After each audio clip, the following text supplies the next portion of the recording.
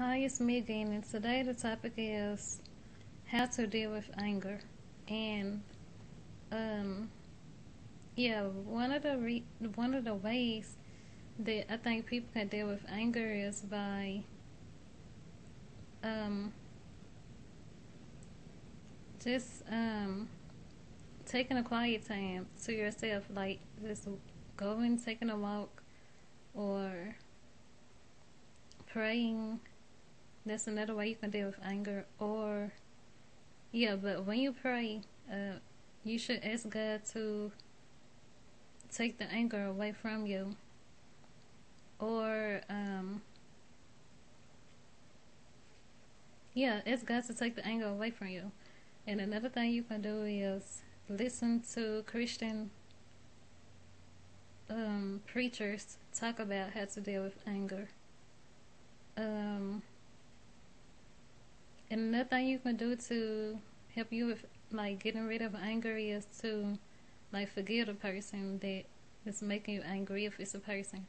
Or if it's just a situation that you're in, you can like just, you know, go and sit down and just kind of like think of ways that you can get out of that situation so that um, the anger can go away perhaps or whatever. So yeah.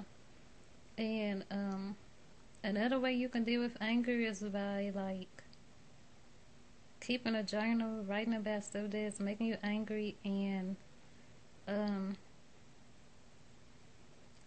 you know, trying to um, think about stuff that um, you know is good, like Christian stuff, like fasting. This is a good way to help you get rid of anger.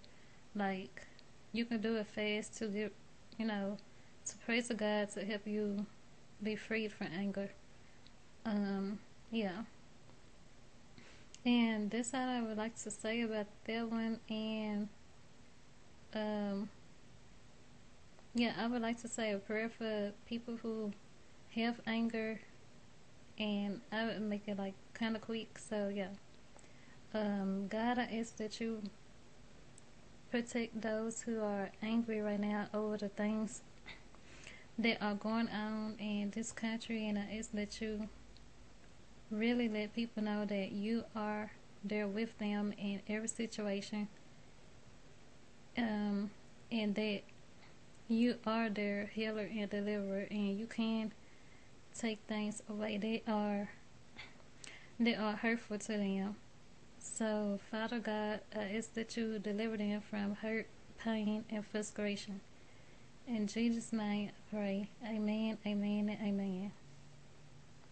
Um, yeah, that's all I would like to say about this topic. And you can inbox me, email me, or subscribe.